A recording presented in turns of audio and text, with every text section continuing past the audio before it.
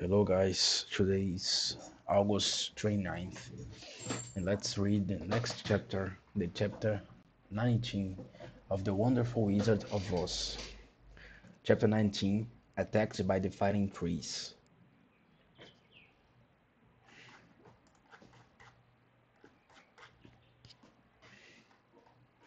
The next morning, Dorothy kissed the pretty green girl goodbye, and they all shook hands with the soldier with the green whiskers, who had walked who had walked with, walked with them as far as the gate.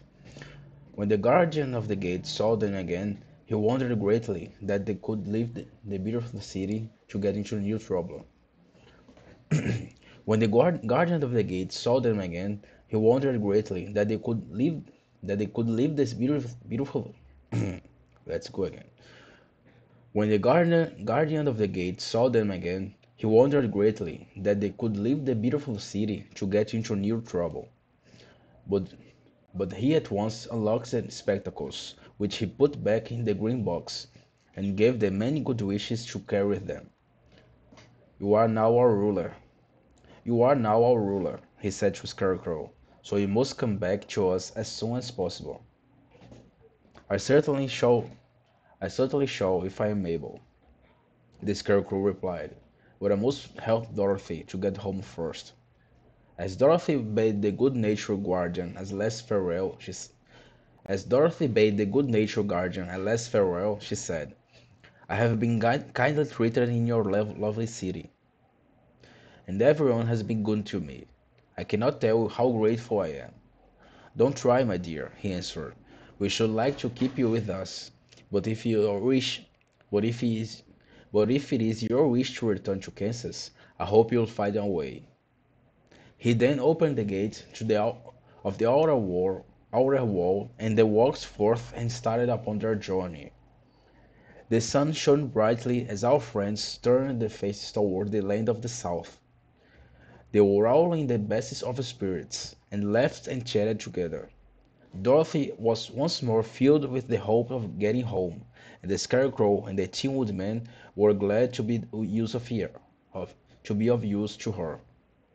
As for the lion, he sniffed, he sniffed the fresh air with delight, and whisked his tail from side to side in pure, in, in pure, in pure joy at being the country again, while Toto ran around then when, while Toto ran around them and chased the moths and butterflies, barking merrily at the time. City, city life does not agree with me at all, remarked the, remarked the lion, as they walked along at a brisk pace. City life does not agree with me at all, remarked the lion, as they walked along at a brisk pace.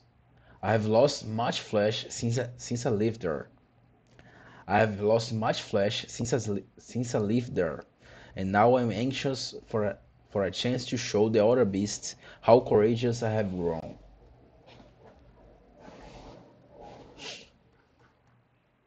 They now turned and took a last look at the Emerald City.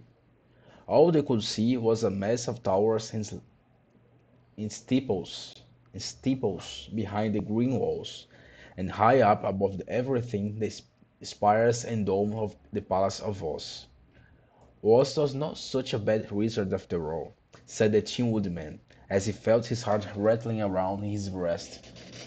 He knew how to give me brains, and very good brains too, said the Scarecrow. If Oz has taken a dose of the same courage he gave me, added the Lion, he would have the, he would have, he would have been a brave man, Dorothy said. If Oz had taken a dose of the same courage he gave me, added the lion, he would have he would have been a brave man. Dorothy said nothing. Oz had not kept the promise he made her, but he had done his best, so she, so she forgave him. As he said, he was good man. He was a good man, even if he was a bad wizard. The first day's journey was through the green fields and bright flowers that stretched about the Emerald City on every side. They slept that night on the grass, with nothing but the stars over them, and they rested very well indeed. In the morning they traveled they traveled on until they came to a thick wood. There was no way of going around it, for it seemed to extend to the right and left as far as they could see, and, besides, they did not dare change the direction of their journey for fear of getting lost. So they looked for the place where it would be easiest to get into the forest. the Scarecrow, who was in the lead, finally discovered discovered a big tree with such a wide spreading branches there was a room for the party to pass underneath. So he walked forward to the tree, but just as he came under the first branches they bent down and twined around him, and the next minute he was raised from the ground and flung headlong among his fellow travelers. This did not hurt the Scarecrow, but it surprised him, and he looked rather dizzy when Dorothy picked him up. Here's another space between the trees, called the lion. Let me try it. Let me try it first, said the Scarecrow, for it doesn't hurt me to get thrown about. He walked up to another tree as he spoke, but its branches immediately seized him and tossed him back again. This is strange, exclaimed Dorothy. What shall we do? The trees seem to have made up their minds to fight us and stop our journey, remarked the lion. I believe I will try it myself, said the woodman, and shouldering his axe, he marched up to the first tree that had handled the scarecrow so roughly. When a big branch bent down to seize him, when a big branch bent, bent down to seize him, the woodman chopped at, chopped at it so fiercely that he couldn't cut it in two. At once the tree began shaking all its branches as if in pain, and the two woodmen passed safely under it. Come on! Shout, he shouted to others. Be quick! They all ran forward and passed under the tree without injury, except Toto, who was caught by, who was caught by a small branch and shaken until he howled. He howled,